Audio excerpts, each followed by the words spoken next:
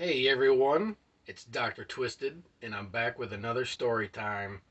It's a doozy of a toozy. Alright, so I'm a custodian.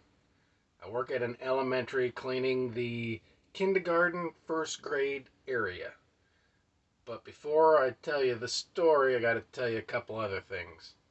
Alright. So, a while ago we had a game night, and our friends brought up something called a poop knife, and I've never heard of this poop knife.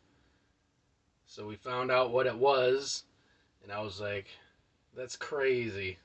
I've destroyed some toilets in my time, but I have never dropped a load so big where you had to chop it down with a machete.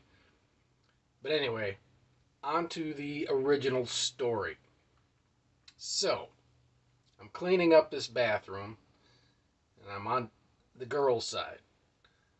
I open the stall, and oh my god, there's this giant.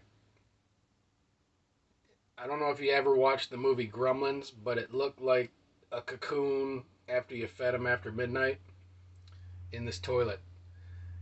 And I tried to flush it like 10 times and it wasn't budging. And I was like, if there's any time I would have needed a poop knife, it would have been now. But I didn't have a poop knife. I was like, what am I going to do?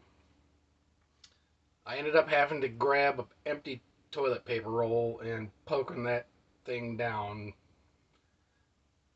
And I hope I never have to deal with that again. That is disgusting. I don't know what you people are feeding your kids, but somebody that young should not be dropping gizmo cockatoons that huge. I imagine that child was walking bull-legged the rest of the day. That had to hurt. Stop feeding your children. Stop it.